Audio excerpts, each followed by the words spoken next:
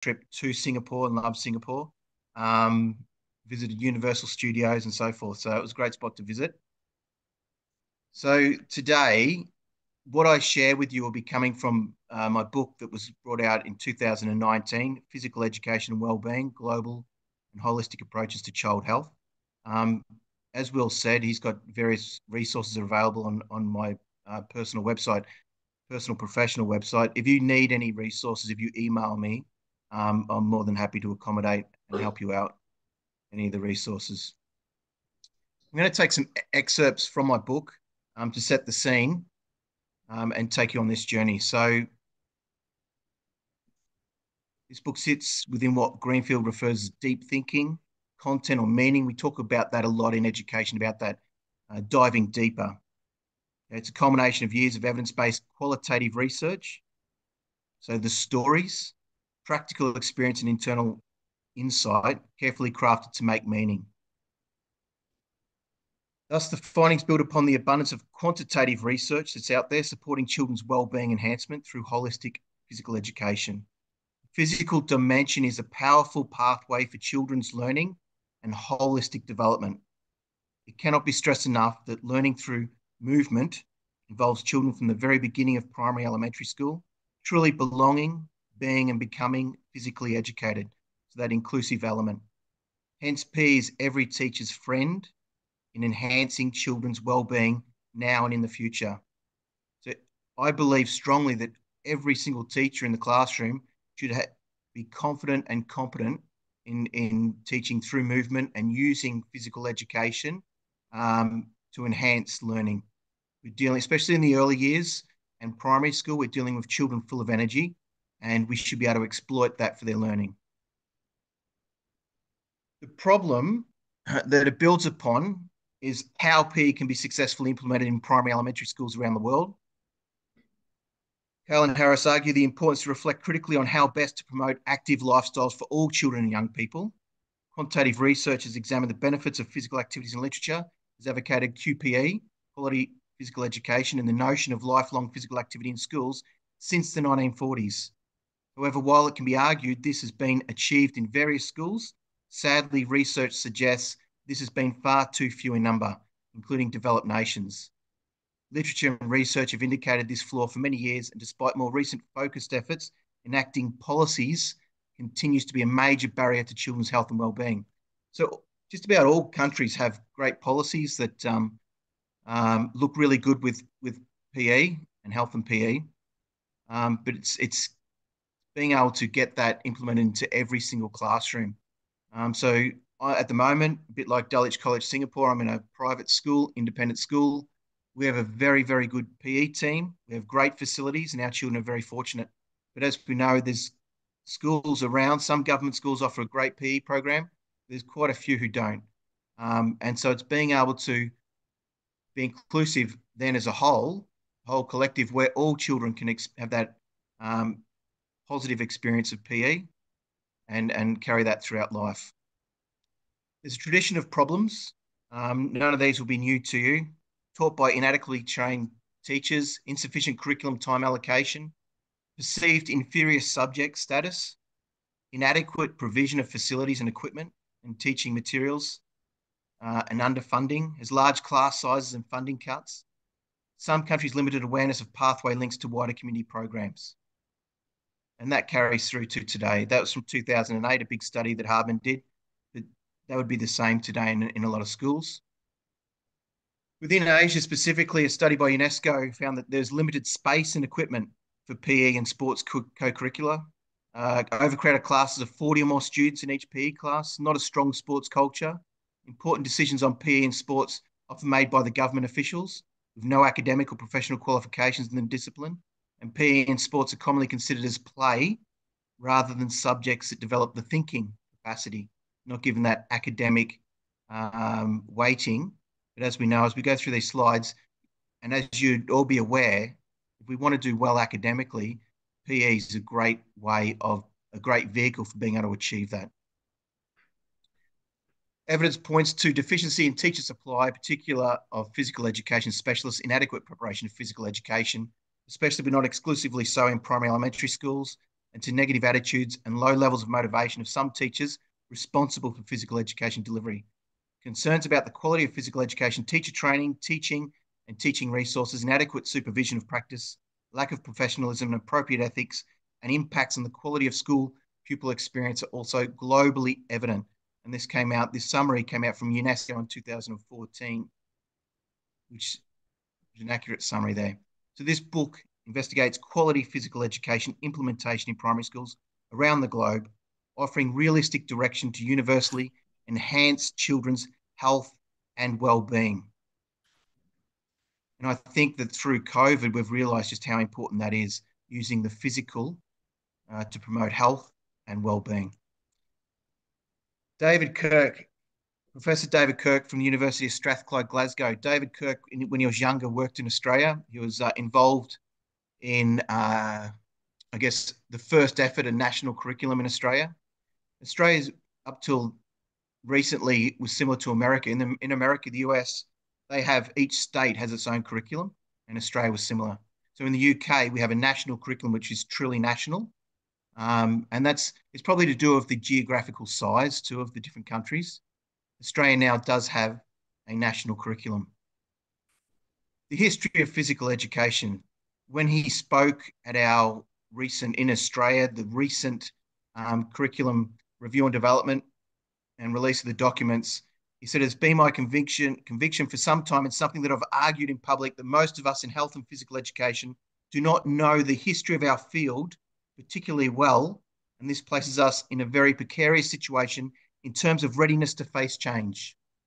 He advised to look to the past for lessons about the present and where we might be heading in the future. So I'm going to look at the past and also we'll see what the present looks like. I won't touch on the future at the moment, but we I think we have a good idea of how important PE is um, and and we could imagine how we want that to be involved in the future. So PE, right back to ancient civilization, we know people had to move to survive. They didn't have a school structure back then, but from the very beginnings, movement's always been important.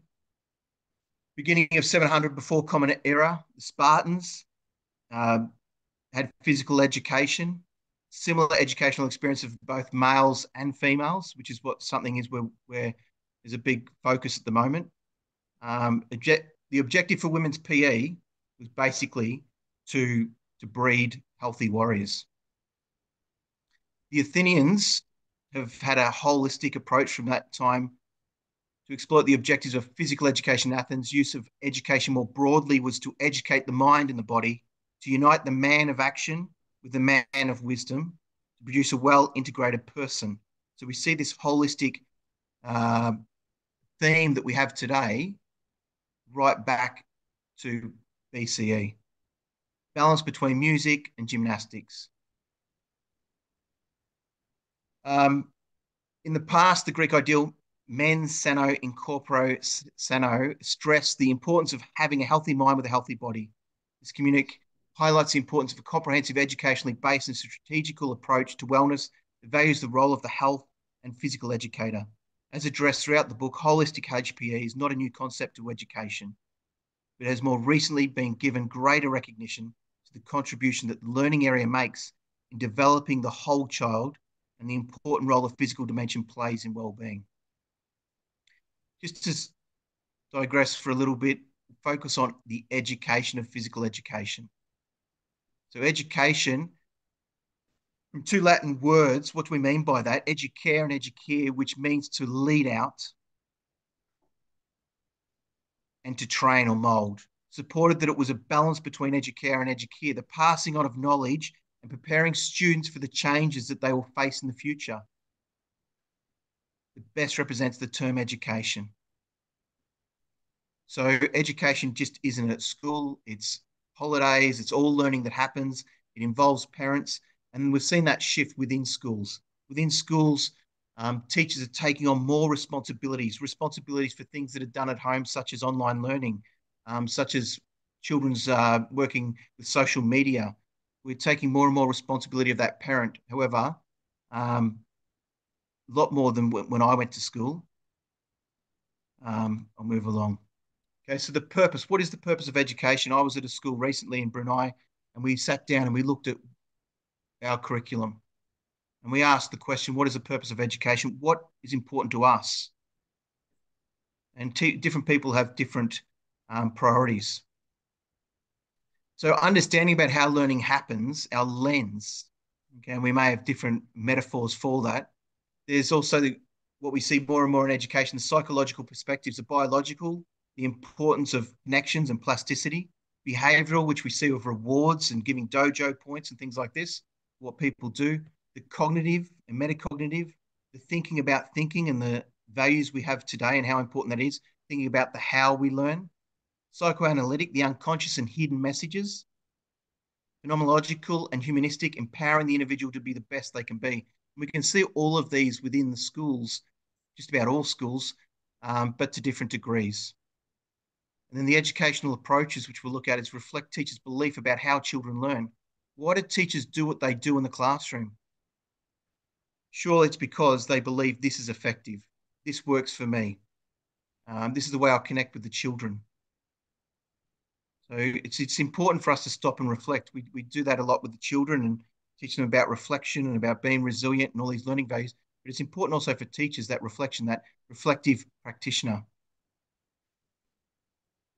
So the behavioural approach, this in the UK, um, this would relate to the old curriculum, even though they used aspects of similar to the new curriculum. I'm not saying that they didn't have the inquiry-based approach, for example, but the behavioural is the oldest and most dominant, linear, teacher-controlled, separate subjects, um, which we relate to old schooling. Help with the nation's economy be more productive, top-down directive. It's often about saving money. We can see large classes, the behavioural. And we're not saying that you don't use the behavioural aspects. There's a place for it. But it's just being aware of what we're predominantly doing. The constructivist, the holistic child learning across emotional, social, physical, and cognitive areas or dimensions. Um, the active learning, the play-based learning, the open-ended materials, the deep questions, um, the inquiry-based learning, uh, Vygotsky's zone of proximal development, using the teacher to as a facilitator to draw out and have the child be become more independent. So that relates to the the latest curriculum, the 2014 curriculum in England, uses that approach, as do most curriculums around the world at the moment. In 19, in about 2000, I, my PhD was about looking at the introduction of the Queensland Health and Physical Education syllabus. Um, this was quite a significant uh, implementation of this syllabus material because its name became Health and Physical Education throughout Australia. Um, so it had that holistic approach. It was about lifelong learning. It used, as you can see, these pictures on the left, it, you can see the lifelong learner, which is very similar to 21st century learning complex thinker, creative person, active investigator, and so forth. And there we also have on the left the inquiry based model, four stages of understanding, planning, acting, and reflecting. It was a learner centered approach. Now, when that came out, it's very easy for teachers to go, right, this is how we've got to do it, and think you've got to do this all the time. And so you you then replace some of the things that work that would relate to behavioral approach with always doing inquiry based learning. Okay. But it's about the balance. And I'll keep coming back to that throughout. A lesson may have different approaches, and that's okay. It's just being aware of what approach, where it sits, and how often you're using it. So basically, Australia, it was acknowledged by the Australian government that Australia was one of the only a few countries that combines the strands of health and PE in one curriculum. Um, many countries require the study of physical education over all the school years, but generally speaking, there is greater focus on health and well-being in the Australian. Um, and you'll see with physical literacy that that's becoming more spread throughout throughout the world and an acknowledgement of the health and well-being. We'll see that as a, we go along. Okay, holistic HP requires an inclusive, developmentally appropriate and progressive infrastructure beginning within the early years of primary schools. I'll keep coming back to how important that is in the early years. Um, there was a, an organisation ICHPER SD World Congress in 1958. The theme was child health and the school. So it's, it's been along and been around since the Athenians. Uh, more recently, as, as Kirk says, since the 1940s. It's always been around, but you'll see it coming in and out at present and, and having an understanding of when we're using a health or holistic approach and when we're just focusing on the physical and leaving it as separate. Um, it's impacted many parts of the world within the curriculum policy. Has it hit the ground within the classrooms? Perhaps not. And I call it the, uh, the book I brought out in 2016, Health, well-being, and Physical Education Revolution. And that's what we're going through at the moment. Countries of best practice had common theme relating to promotion of health and healthy lifestyles from a big survey by UNESCO. So it's very important. A growing number of nations have made a shift to a holistic HPE curriculum, and these numbers are rising. Nations embracing health, wellbeing, and PE include you can see a number of countries here in policy Australia, USA, UK, Wales, and Scotland mainly, New Zealand, Singapore, Canada, China, Malaysia, Brunei, Darussalam, Philippines, Japan, Nepal, Thailand, Cambodia, Indonesia, India, Sri Lanka. And I'll let you read through those, but there's many, many countries that are giving recognition to health and physical education in their policy documents. So here's the English present physical education programs, the National Curriculum of England. And it has remained as a focus on PE. And I understand why that is because PE is significant and we need to do quality PE.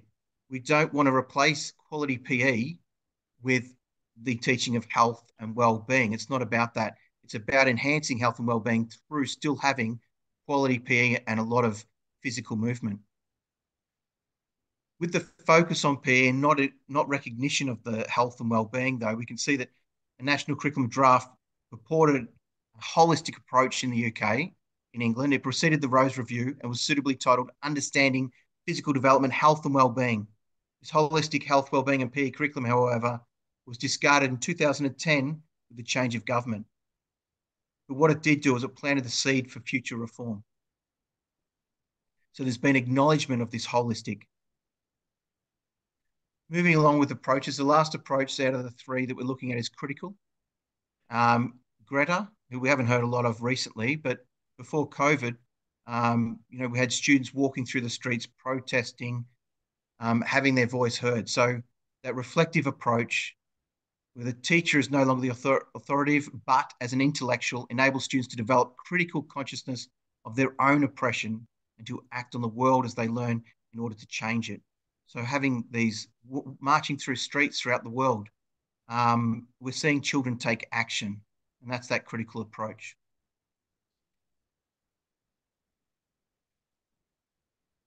Okay, so the uh, looking at the revolution, shift towards a constructivist, which is the inquiry based, and critical, taking action, social cultural approach, which is inclusive education, has experienced a health, well-being, and physical education revolution described as a, glowing, a growing global curriculum reform, one that is in the best interest of the whole child. This is where PE is not seen as a single 45-minute lesson that may occur once a week, but rather where the physical education lesson is acknowledged as a platform to well-being, infused across all curricular and extracurricular activities within school as well as a child's greater community. This includes the complex layers of relationships between individuals and groups involving personal, interpersonal, environmental factors. We have research evidences that in many nations, a health, well-being, and peer revolution often only exists as policy. For this to happen, I wrote an article uh, a few years ago. It's called "How Does a PE Teacher Become a Health and a Health and Physical Education Teacher?" Now, within that article, it, looked at well, how does this happen? a lot of people get confused with, well, I'm a PE teacher, I've got to do this, this is what I'm responsible for. But it's taking that, it's acknowledging how important the physical is throughout the whole school. And it's about communication with the teachers. Of course, it helps with leadership, um, helping direct that. But in many schools, PE teacher often is a leader and, and being able to lead and make those connections with the teachers. Sometimes the PE teacher may be segmented from the other teachers not feel part of it. It's about being inclusive within the staff, everyone being valued, and it's about having strong communication so that we can exploit and optimize the physical and the movement for that child. Which, if you asked a child, would you like movement throughout the throughout many subjects? Of course, they would agree. So what would that look like? It's having that quality P lesson once a week, twice a week if you're fortunate. But it's also talking and sharing your curriculum. So if the teachers get another opportunity to go out, which they may do, they can also continue on with those skills or games. It's about um, sharing various inclusive games and skills with the with the other teachers. Um, it's about taking that leadership and having perhaps having the teachers come together and identify which parts of in the English curriculum, the PSHE, or the health aspects and, and well-being. And it's just being someone to lead that. That's what is, is the difference between the physical education and the health and physical education teacher. So which approach? We need to increase understanding with regard to the complexity surrounding this issue. If I was to walk into a school and say, what, which approach to education are you using? A lot of teachers would just look at me. That was something they learnt in first year at university when they really didn't have anything to reflect on other than their own education. But now, as a teacher, lots of teachers go back, they might do further research, be it um, through university with a research degree, a master's, and so forth, or PhD, or it may be through doing an NPQSL or something similar. But using this research, we then reflect, and this is what I did too as a, as a teacher, I reflect on my practice what works and what doesn't work within our context. And so it becomes a lot more valuable. And I think we need to keep touching base with teachers with these approaches. When we bring in a new program, we have to see, look at our programs that we're using, look at where the what predominant predominant approach we're using, and ask ourselves, where does that fit in? It's not just about throwing money at a quick fix. It's about carefully, like a coach does, sporting coach, carefully bring in a player that fits and keeps the team balanced.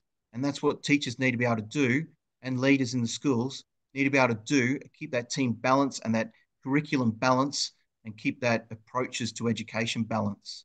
So all approaches are important. Under the current curriculum, of course, the constructivist and critical are given predominantly more weighting. Schools tend to commit to one approach, although many educators do not. So a school might say we're using the inquiry-based approach, but the actual teaching going on in the classrooms is chalk and talk. One approach in some situations and another approach in other situations it is contextual. And that's okay. Um, and i think it's through teachers reflecting on what approach they use and why that will open them up to being um, more willing to try different things. That's a whole environment that we have to sit set in the school similar to classrooms. And it, at, we all know how important it is to set that environment of everyone belonging.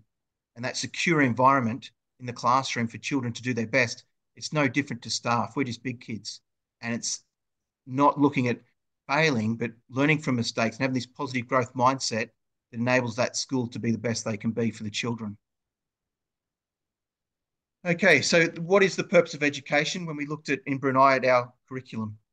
Developing practical skills to strengthen the productivity. And that is a big one for Singapore over the last 10 years or so that they that is a uh, priority for them. Prepare and deal with the future for 21st century learning. Again, that's a priority with ICT and looking at the future. A lot of schools got heavily involved with that during uh, COVID. Develop the child, the personalised learning, the well-being, the whole person. Critique society, equity and social justice, um, the critical approach, and introduce students to the best that has been thought of and said.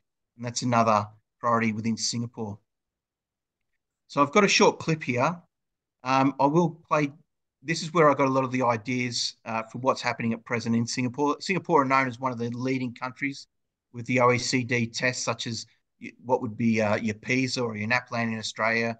Um, these year six tests, and, and also for the 15 year olds, uh, PISA tests and TIMSS and so forth. I'll just play now. If the if the volume doesn't work, I'll just keep moving along. It's only a short clip. Can you hear that? No, there's no sound on it, Tim. Okay, it's all right. Okay, so that was just uh, one of the education department leaders talking about what their priorities have been in Singapore. Right, so to come from that uh, short clip, you might be familiar with this. Ngee Ann Secondary School is a future school. They have future schools in Singapore that encourage innovation and enterprise in teaching practice, flexible learning environments with a special emphasis on the use of technology and digital media. So you can see the, the importance of what is the purpose of education there? Teachers are valued, and this is a big theme coming through also in Finland. Teachers are extremely valued. Teachers have uh, have evidenced their ability and passion to be quality teachers on the selection process. And when I say teachers are valued, they're held in high esteem with doctors and lawyers and other professions in this field. They're also paid good money, and it's a real process of being selected. Pedagogy context knowledge. What is that? It's understanding how we can teach the different strategies, understanding deeply your content, and understanding how to deliver that to the children in your context or the students. Having a professional learning community, which I can see with the turn up today, is, is important in Singapore and lifelong education. Collaboration, innovation, challenge, challenging the children. And these are themes coming throughout, throughout the world. Shift to teacher as facilitator, pupil as researchers, and being independent. And these are similar to all schools. So a lot of different uh, education departments throughout the world have looked at Singapore as leaders. They've looked at Finland as leaders. Um, in Australia, to become a teacher, it's a four-year degree. If you study a degree first, for, for example, um, secondary, and then do a postgraduate dip ed, um, it is two-year and it becomes a Masters of Teaching, a two-year degree. And they're not the only country with that. There's other countries around with similar.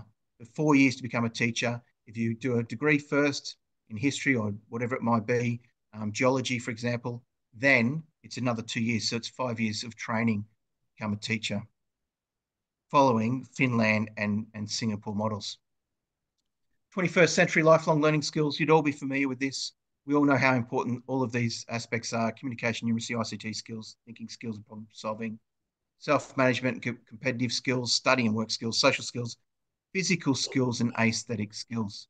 If we go to the um, in England and the early years framework, um, if you look at that, it, it, has three main things: one being physical movement, one being language and literacy, and also the social and emotional. So you can see that often when we look at early years and look at the learning going on, that often infiltrates and works its way up um, to, to the to education, influences education throughout school right up to, to A levels. Physical education is the only curriculum subject whose focus combines the body and physical competence with value-based learning and communication, provides a learning gateway to grow the skills required for success in the 21st century. That's from UNESCO, Quality Physical Education 2015.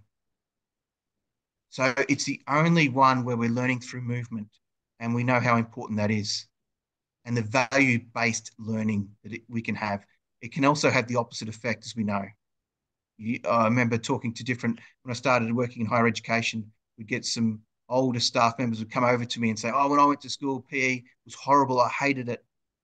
So, PE movement is a powerful vehicle and it can have very positive effects, but if not done right, it can have very negative effects. In our school at present, we are an IB learner uh, school and we have an IB learner profile. In our junior school, we use the National Curriculum of England, but you'll be familiar with learning values, which are you'll find in most schools. How they're implemented makes a big difference. Um, how are they truly in the classroom? Do the children identify them? Does the does the teacher give feedback relating to them? Do they give dojo points in relation to them? Is this what's ruling our or the goals of our behavior and so forth. This is what we have at the moment. And what the children did was design a character and a name so that we could easily remember them and the ch younger children could relate to them more. We, in our school, we have been implementing these for, for over the last 12 months and we still, we know we still have a, we need to keep going with this, to keep pushing um, and keep deeply implementing it in everything we do. Our feedback policy relates to this um, and it's very important. So that's an example of the holistic learning. And this is also extremely important to phys ed and to sports and to how we reward children or what we acknowledge feedback given. So when we give feedback, we can give feedback on the content or what we want the children to do. So in PE, for example, so we're learning um, striking and you've gone through some the correct um, process for striking given some feedback yeah, you give feedback on the striking motion, how they're holding the bat and so forth, but also this is about how we're learning and these can tie in with the feedback. Right. Uh, from a chapter four in a health and well-being um, book, which is there. Go back. There we go. Health and well-being in childhood. The physical dimension is significant within children's learning because it it offers powerful and meaningful connections across all learning and development areas.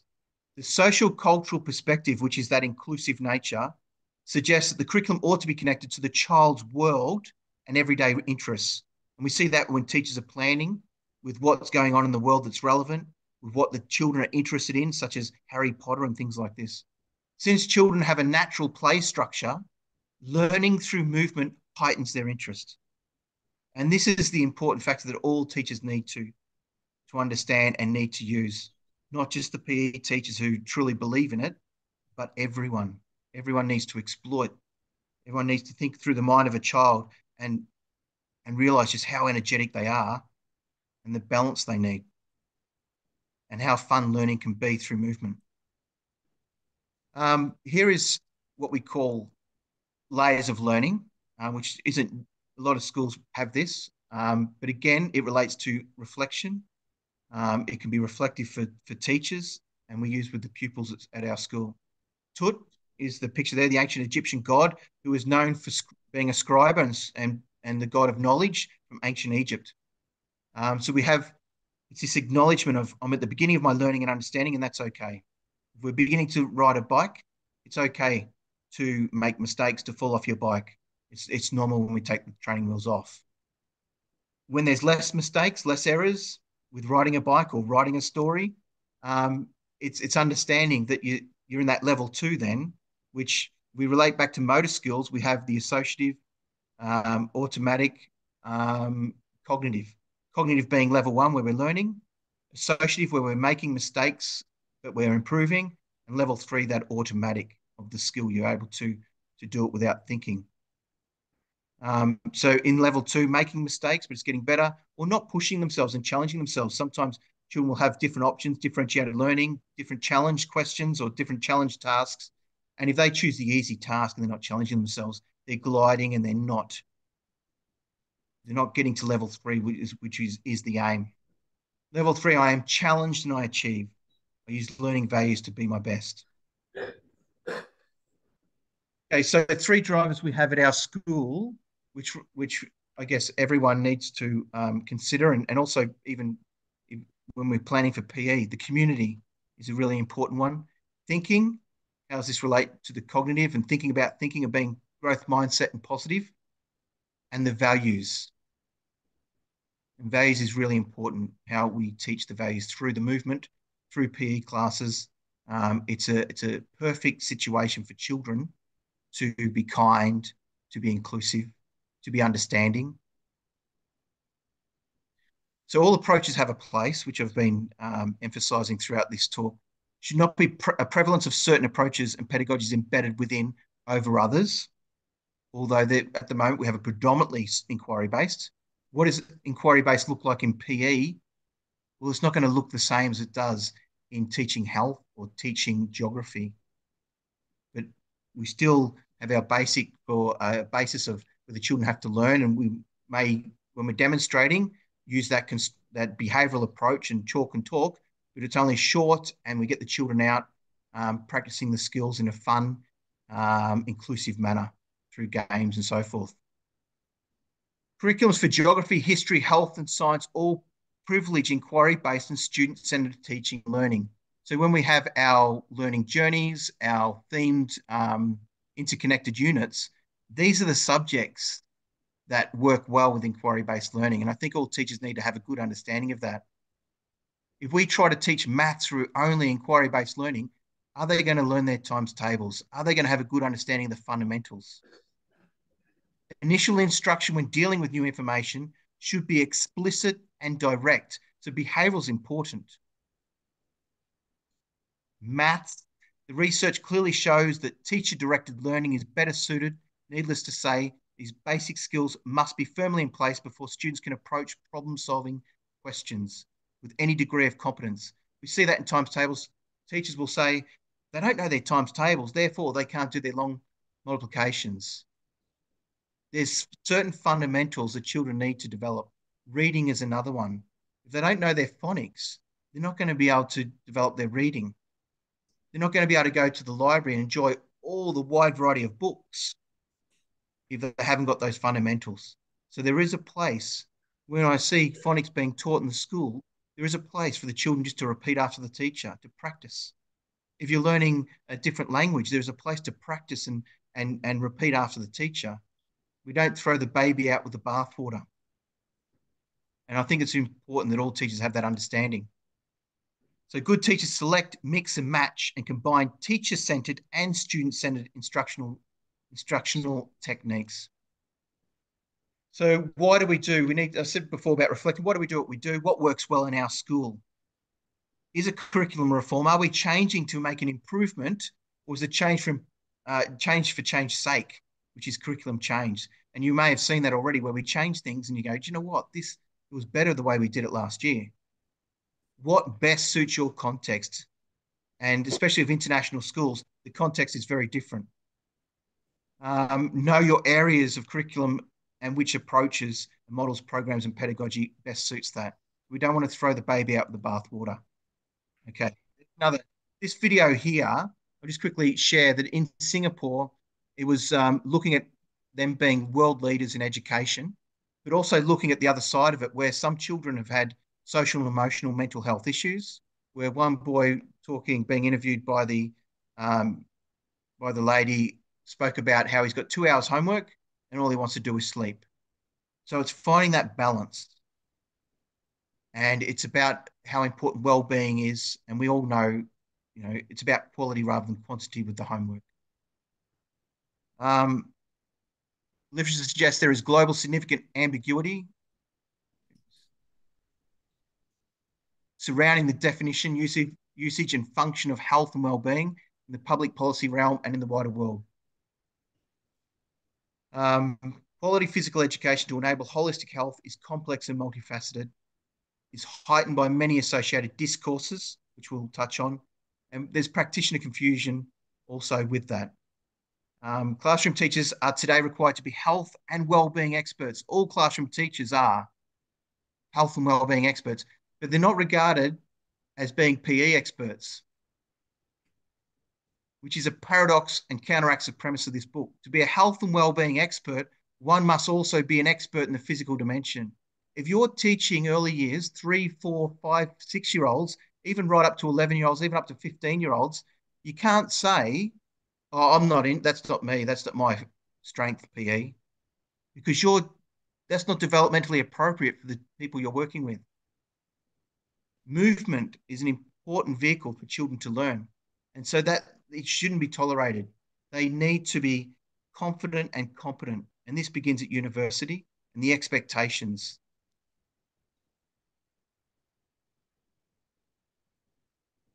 Okay.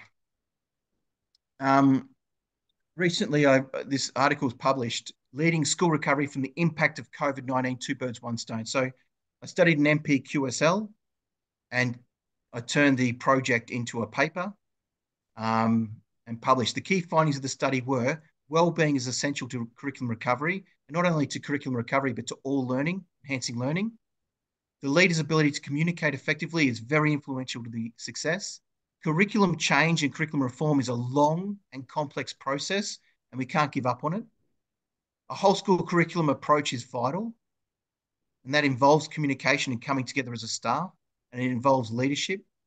Physical health is a key to the promotion of well-being. I'll say that one again. Physical health is a key to promotion of well-being. Movement, physical education is very important. Programs such as the NPQSL need to be flexible and open to the most recent research findings with regards to well-being. Challenging deeper thinking is necessary for teachers and not only children in schools. Leaders need to be inclusive in all teachers and teaching approaches and not see someone as old school, but ask them why they do that and and have them identify why they do it and perhaps it is it, it is the best way that in that particular context teachers as reflective practitioners of researchers They just don't always, it's not always identified that they are. But all teachers are, are researchers. All teachers will share, oh, that didn't work, or that worked really well, or let's try combining this. Or they'll sit down after a unit of work and they'll talk about it and see if there can be improvements. Okay, so after post COVID 19, the Department for Education in England had the statutory guidance physical health and mental well-being. So that acknowledgement of the importance of the physical and movement. Physical health and mental well-being are interlinked, and it is important that pupils understand that good physical health contributes to good mental well-being and vice versa. So that's really important. That's what I've been um, emphasising. Health and well-being priority. Now, in Australia, the Labor government will invest 200 million to expand successful implementation of mental health in primary schools program to every single government and low fee non-government primary school in Victoria, 1,800 school campuses. So in the state of Victoria.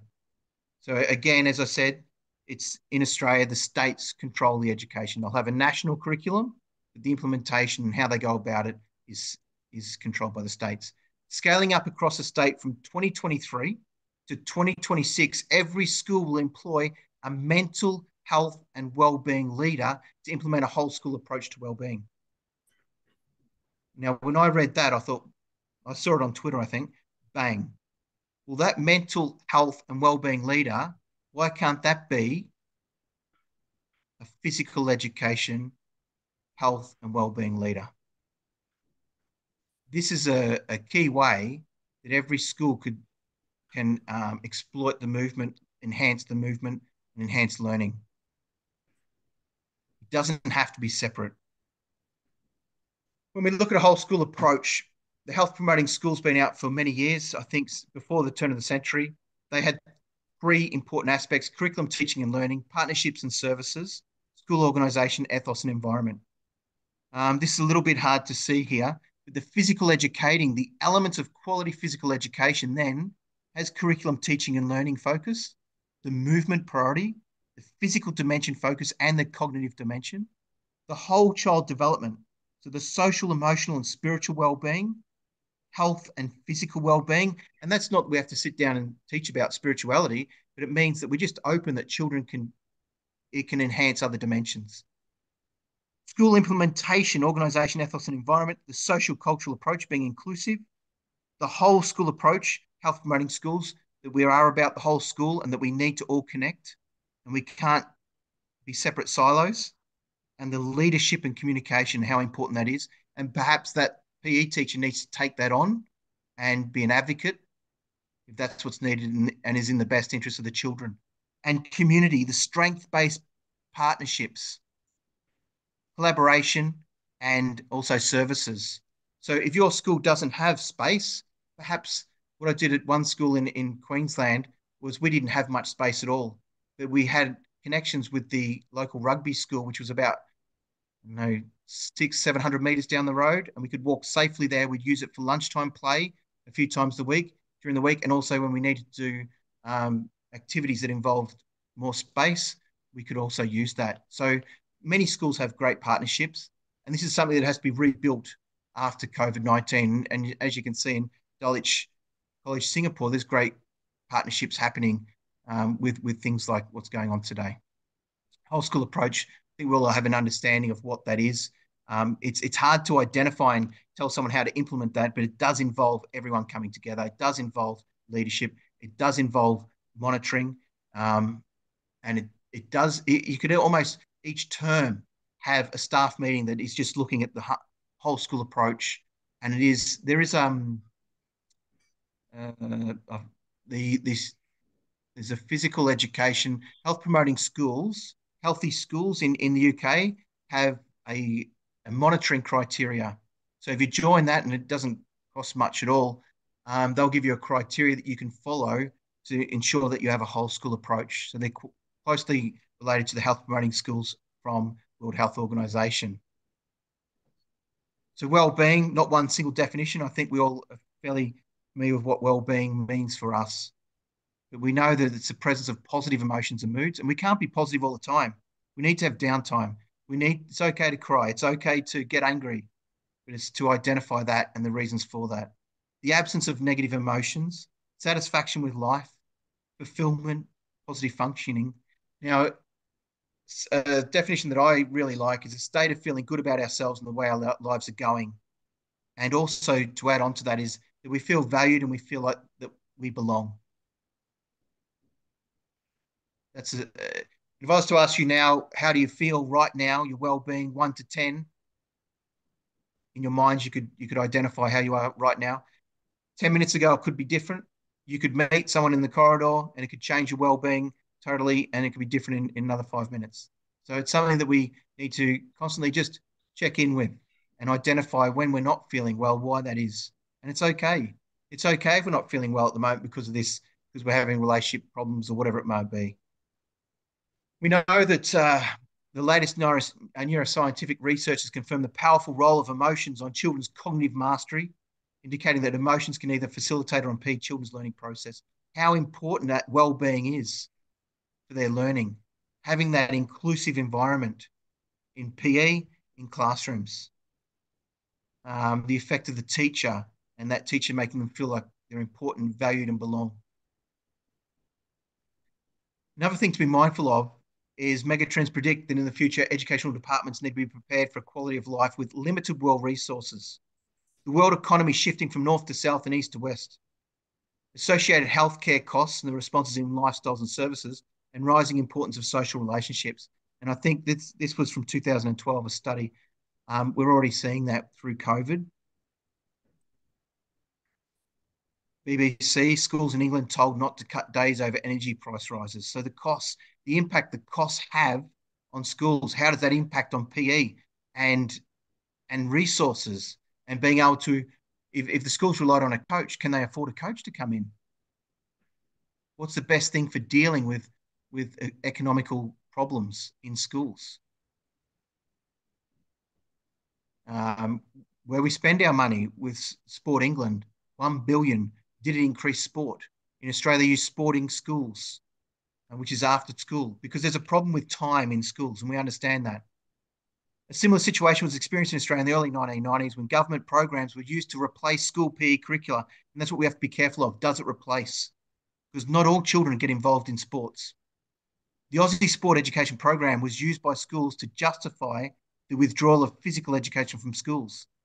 This funded government program proved to be detrimental to schools rather than achieve the enhanced health outcomes as originally advocated. Subsequently, Emil argued that programs offered by the state and federal governments should be a logical and welcome extension to the curriculum, not a replacement for it. So when we're looking at things again, what are we doing? Where does this sit?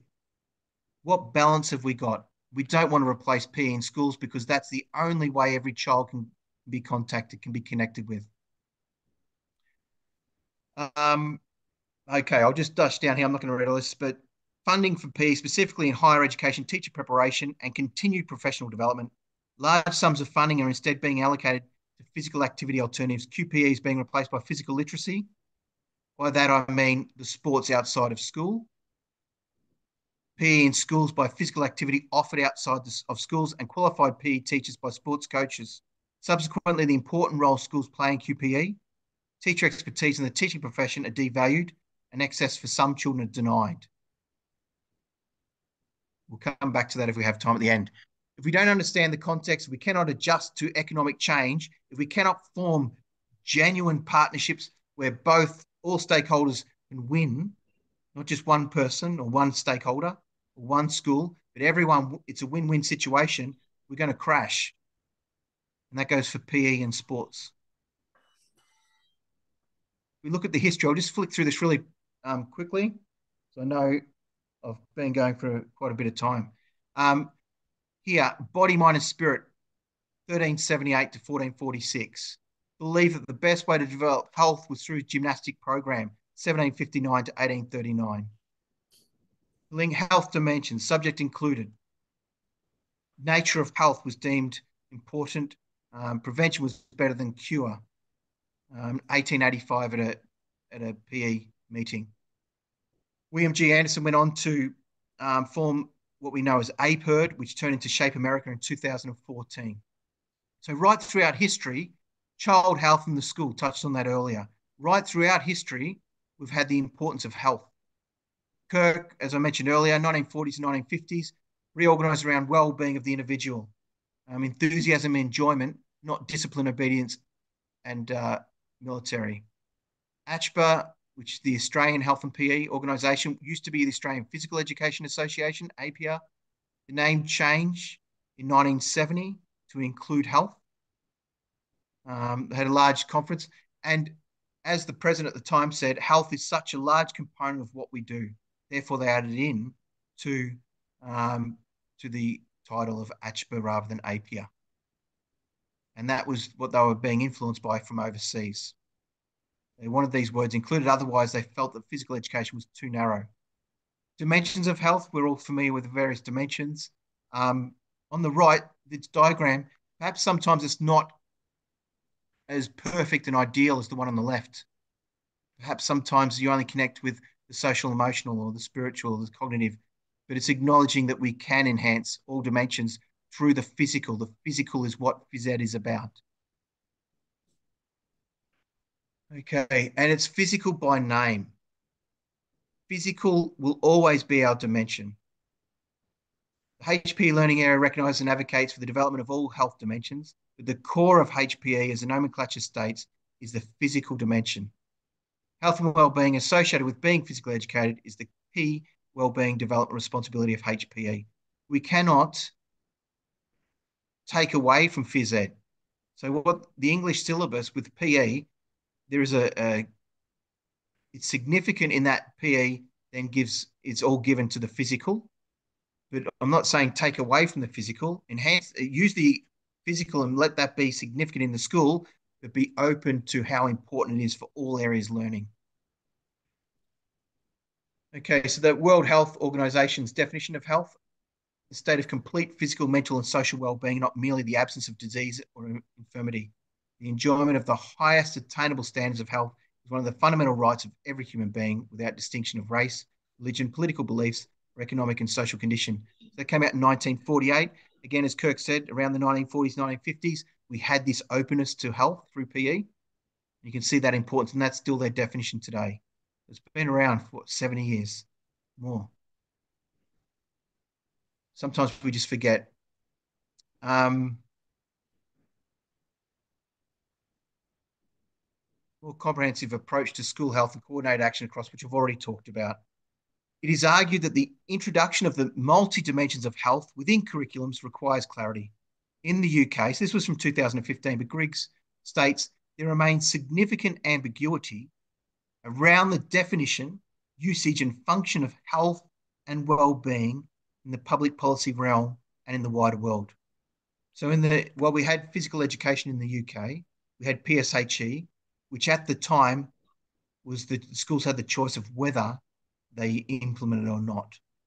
It is now statutory, but at the time it wasn't. So, and I think that with the physical education um, and physical health and mental health document, also with the relationships document, relationships and sex ed, that it's been given, they've achieved that, and now it is um, being given clarity.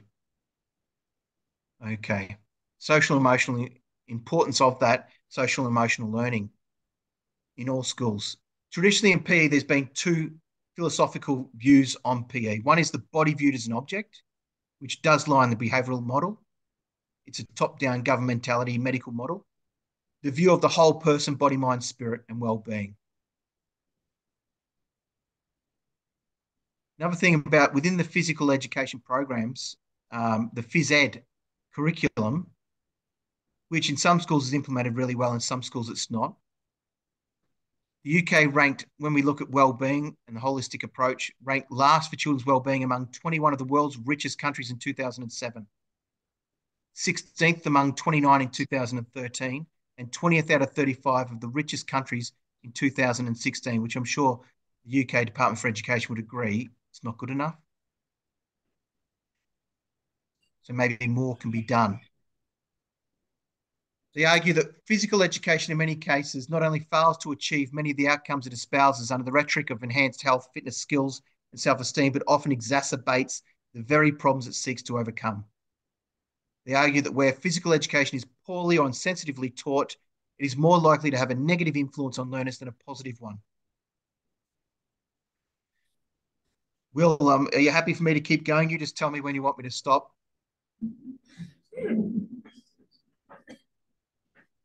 Yeah, I think uh, there, just conscious of time, Tim. So uh, we, we've got uh, um, other presentators um, who are going to share their yeah, practice. No so, I mean, um, yeah, yeah. How, how, much um, how much more are you, are you looking to share?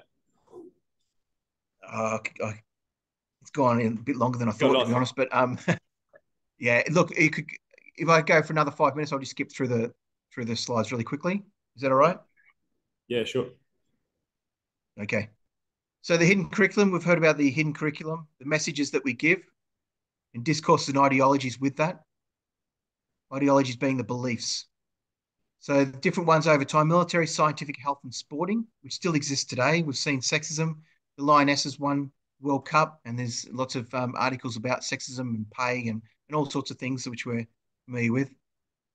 Military, um, especially during World War One and World War Two, this was seen as very important and again, relating back to the Spartans, producing soldiers, where the body was a docile body and we're going to train it ready.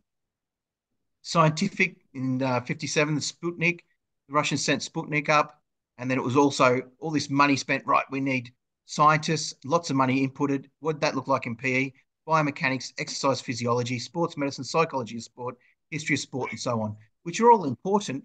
But we know also that like you were having after this, the practical side. Teachers need to know the practical side and what these things look like, um, how they relate to, to the children. Health discourse, um, you know, the appearance, judgment, morals, and guilt, and being able to acknowledge this of uh, of when we see this in society. Bodies tell us a story. Unquestioning acceptance of the obesity discourses. Taking the pleasure out of physical activities morally disciplined behavior. Um, let me see what was important here. I'll just keep moving along. Hidden messages. Okay, so here we have, I know in the UK, here's an article, Daisy, where she had her, she was weighed in year in reception and, and year six, the children are, are weighed. And this video clip that's associated with this talks about how Daisy's how it affected her psychologically and where that sits in the behavioral approach. And do we really need it? And what's a sensitive way we can implement this is if this is what we need. Children are measured, BMI, and the letters goes home to the parents saying your child's overweight if they're at a certain BMI, and then you know we're concerned they'll end up a weight, uh, overweight adult. There's other inclusive ways that we can go about this without having psychological effects. Um, sporting discourse, and this is important to the English curriculum because in 2012, the Olympic Games, planning of the national curriculum, um, policy, by the way, uh, this connection is where dominant discourse and rhetoric are favoured over permitted, often without understanding the appropriateness or impact that may result. So with England, they said, right, we want to have, um, we want to relate to having lots of kids play traditional sports, and we want to produce athletes so that we can do well in the Olympics, which relates to a lot of discourses and ideologies such as elitism. Um, and when we look at the curriculum, a high quality physical education curriculum inspires all pupils to succeed. Can all pupils succeed? How do we go about this? And excel in competitive sport. Can they all succeed in competitive sport? And other physically demanding activities. It should provide opportunities for pupils to become physically confident, great, in a way which supports their health and fitness, right? opportunities to compete in sport and other activities build character. Do they always? Is the local coach coming into the school building character in all children? Because it takes a lot of skill and help to embed values such as fairness and respect. Okay, so does sport build character in the early years of primary schools? That's the question being asked. And this is relates back to what we cover at university preparation of teachers. They have to know how to do this, how to, how for everyone to achieve. Can sports be played by children? Is it developmentally appropriate for children in year one and two to play sports? There's only a few sports with very basic skills they can get involved. Um, And there are assumptions about sports that relate to that. The boys and girls receive equal opportunity and recognition, get most of the understandings through school curriculum, work hard and make sacrifices. You can achieve what you want. Being involved in sport, people naturally develop positive attitudes and healthy lifestyles. Again, just the question about reception, for enjoyment, it becomes naturally natural for them. They should be developing their fundamental movement skills. Um, so that when they get into year three, around about year three is where they can really truly playing modified sports and start to understand the strategies of games. They can play basic games like duck, duck, goose and things like that, but only in year towards the end of year two and year three have, do you find the children are ready for that. Um, okay. Sexism, we're seeing this all the time. Um, and this is good that it's identified so it doesn't go through and just the messages get through and just keep growing with children going through school. It's good that the media acknowledge this. It's good that we talk about this. Elitism in schools. Um, I know the school I went to, the first 15 rugby team was given far more weighting than other sports. And all the um, young men wanted to be in the rugby first 15. Okay, so responsible for schooling the body throughout history ideologies associated with that, and with a holistic approach. It's about having the ability and power to bring awareness of existing cultural messages to students and their awareness. And then they have the choice to accept or reject messages. And this is what the social, cultural, inclusive approach does. And it's appropriate to well-being, which is multidimensional, because the dimensions that, that the health is dynamic and constantly changing state. Okay, this is taken from the syllabus in 1999. I'll just keep moving along just to see. I'll go, I'll just actually, quality physical education. This is the answer to everything. Marriage of human movement and social cultural approach being inclusive. It needs to be provided for all children. All educators must understand how to provide inclusive practices, which I've spoken about and touched on. It's acknowledged by UNESCO. Um, physical education lessons should be developmentally appropriate to help them acquire the psychomotor skills cognitive understanding, and social and emotional skills they need to lead a physical active life. What I might do, looking at quality physical education, um, which is quality education, what we need for that, I'll just skip through that because it'll be revision for most people. The importance of, uh, of feedback, especially in PE. Challenge for teachers especially PE teachers. Educators, therefore, challenged to be creative when implementing physical education by adopting a social cultural approach, inclusive approach. At all times, the aim should be to maintain inclusivity by catering for the diverse needs of the class. For example, if you have a year four class and half of those children play basketball at the local club and have all the skills, half don't, how are we going to manage that? This is easier said than done. It's the greatest contemporary challenge for physical educators. The ability to implement strategies that cater for all needs while enabling enjoyment, engagement, and challenges is evidence of a teacher's expertise as a quality physical educator. When I first went into schools and started taking PE, what I realized the difference between a sporting club and in the schools was how challenging being inclusive was because the children had such a diverse range of interests and skills. If you're a PE teacher, you can begin from the early years and everyone can have the fundamental movement skills and you can move up through that and have the opportunities. But if you just go into a school raw and they haven't had those previous opportunities, the diversity of the children's ability is incredible. And that's a real challenge. And I'm sure one that all PE teachers uh, can um, resonate and, and associate with what I'm saying. My recommendations from my book, from a study, one, PE is prioritised, acknowledged as one of, if not the most important curriculum area in the school. PE must be quality PE, where fundamental movement skills and dominant movement patterns to do with gymnastics are, are implemented. Number three, the key wellbeing development and responsibility of holistic HP is associated with being physically educated. The, the physical is always our priority. Four, QPE, quality physical education, is the only label advocated. Now, today's meeting is called Physical Literacy and Health. And in the context, for me, and as you may have seen from some of my slides, that relates to education. I see education as being the literacy, same term.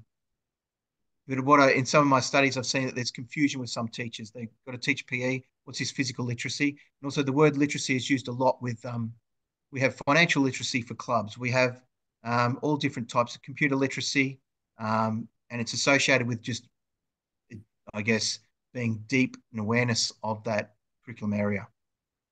Health literacy is another one where they do talk about health literacy as relating to being able to read and write. So that becomes confusing also. Number five, community partnerships are essential now and in the future. I touched on that. Number six, a predominant behavioural approach to PE should be avoided as it does not acknowledge the whole child and can be harmful to children's well-being. Predominant. Uh, my child was involved recently in uh, synchronized swimming, water ballet, um, artistic, uh, artistic swimming.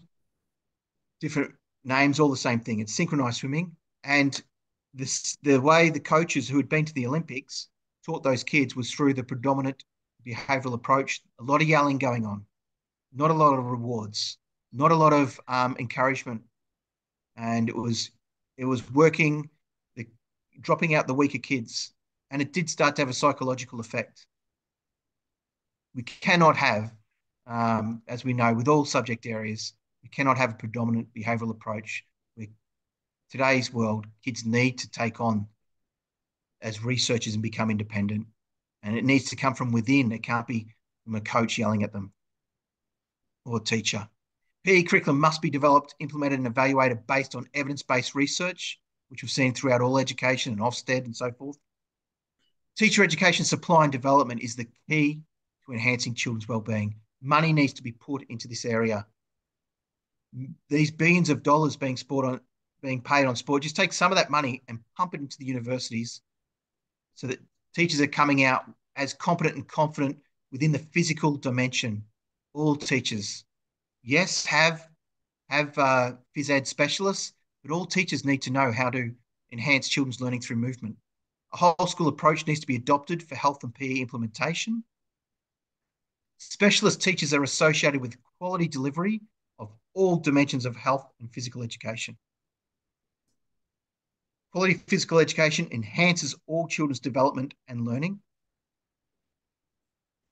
Every primary school requires a tertiary qualified health and physical education teacher.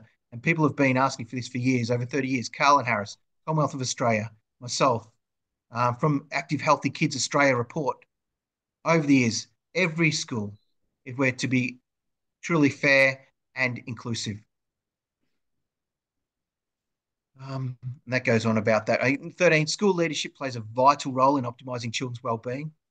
We know that from our own experiences. Do we have to do it? Yes. How are we doing it? Let's have a look. Can we do it better? And I'll leave it there. Thanks, Will. Cheers, Tim. Thank you very much.